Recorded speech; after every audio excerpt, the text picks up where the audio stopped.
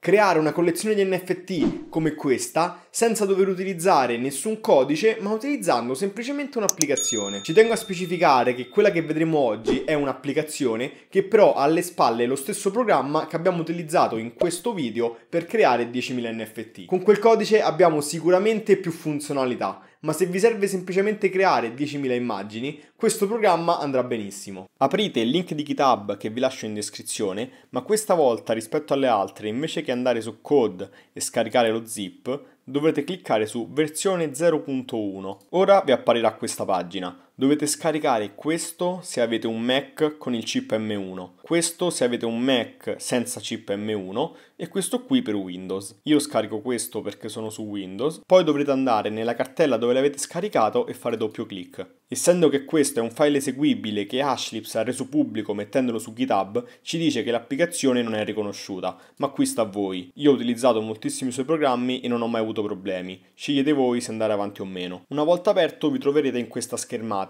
Dovete creare una cartella layer e successivamente una cartella build e quest'ultima andrà lasciata vuota, mentre nella cartella layers dovrete inserire altre cartelle con i nomi dei livelli e in ognuna di queste cartelle inserire i file PNG. Mi raccomando solamente i file PNG perché se ci dovesse essere un file che non è PNG il programma darà errore. Una volta fatta questa parte dovrete cliccare su Configuration, inserire quanti NFT creare, il nome da dare alla collezione il simbolo della collezione e perché no anche una descrizione. Qui si può scegliere la larghezza e l'altezza del file. Io per non farle troppo pesanti metterò 500 ad ognuno. Quando avete finito chiudete e aprite i percorsi qui sotto. Qui dovrete cliccare set input, andare dove avete creato la cartella layers e selezionarla. Mentre qui sotto invece nell'output dovrete andare su set output, andare sempre sul desktop e selezionare la cartella build. Una volta che avete finito chiudete anche questo, andate su layer order e una volta cliccato Get Folders appariranno qui sotto tutte le cartelle che si trovano all'interno di Layers.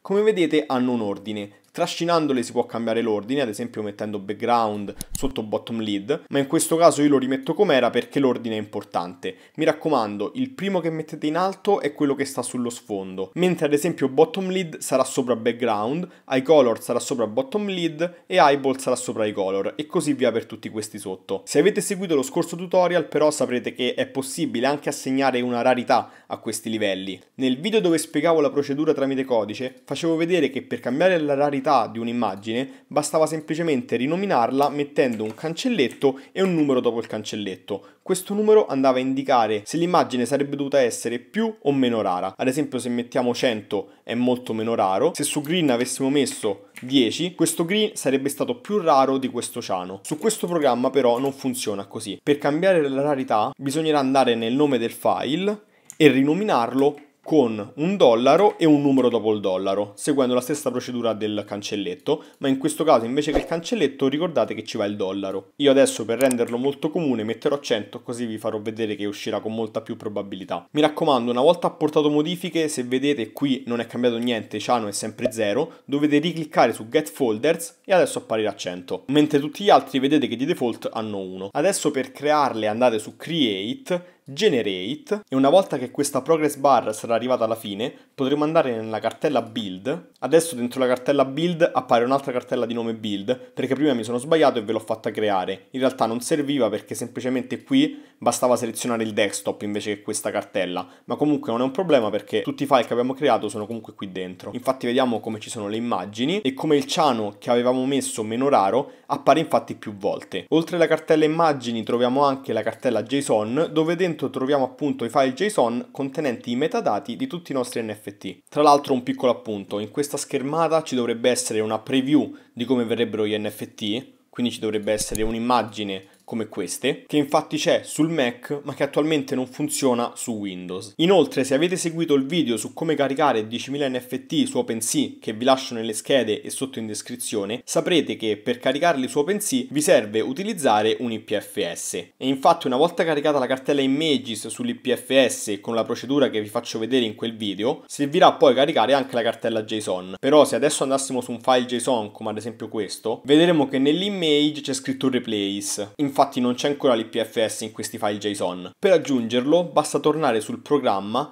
andare qui sotto in IPFS, andare a prendere il CID della cartella che è sull'IPFS come faccio vedere in quel video e fare CTRL V. Successivamente cliccare su Update Metadata e adesso possiamo tranquillamente tornare nella cartella JSON, aprire i file e vedere come nell'image c'è IPFS due punti doppio slash questo CID slash 1.png perché è il primo file. Se aprissimo il secondo ci sarebbe lo stesso CID ma slash 2.png. Quindi adesso per caricarlo su OpenSea o in questo caso nella testnet o utilizzate il metodo che faccio vedere in quel video per caricarli tramite IPFS oppure su OpenSea andate su Create, firmate la transazione, cliccate su questo riquadro, poi andate nella casella desktop, nella cartella build, selezionate di nuovo build in questo caso per il mio errore, poi andate su immagini e selezionate la prima. Adesso qui inserite il nome della collezione, il link esterno al vostro sito, la descrizione, la potete aggiungere a una collezione e successivamente crearlo. Però se seguiste la procedura che faccio vedere in quel video, tutta questa parte non andrà fatta a mano e qui il nome sarà preso da solo, la descrizione sarà presa da sola e non servirà a caricare un NFT uno per volta, mentre se usaste questa procedura sareste obbligati. Il video termina qui, se avete qualsiasi dubbio scrivetelo qui sotto nei commenti e lasciate like, iscrivetevi al canale ed attivate la campanellina per non perdervi i prossimi video.